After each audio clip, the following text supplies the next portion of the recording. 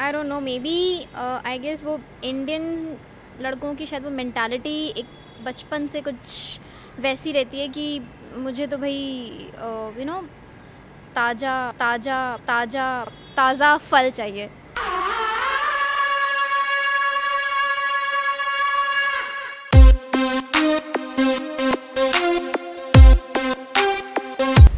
Man will demanding for a virgin bride.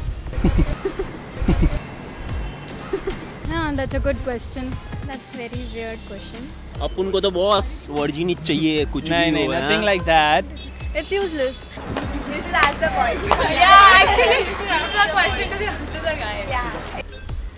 Virgin by because they don't want to spend their life with a girl who have- who's not a virgin. तो ऐसा तो कुछ नहीं है। Past का किसी को पता तो होता नहीं है। वो तो बस रैंडमली सेलेक्ट करते हैं, उन्हें थोड़ी ना पता होता है कि वो वर्जिन है या नहीं है।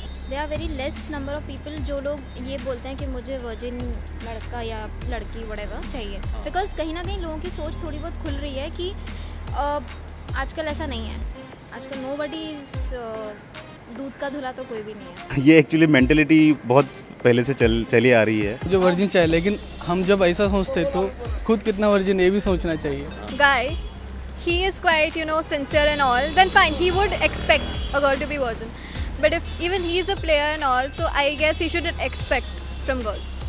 Sincere होगी तो चलेगा Indian mentality is like that. Personally, I'm not that kind of man because yeah, many. I mean, guys have uh, freedom to go around and flirt with girls. They can do anything. So why do she? Uh, why do they want virgin girls? Like that's too middle class thinking. Don't show my face.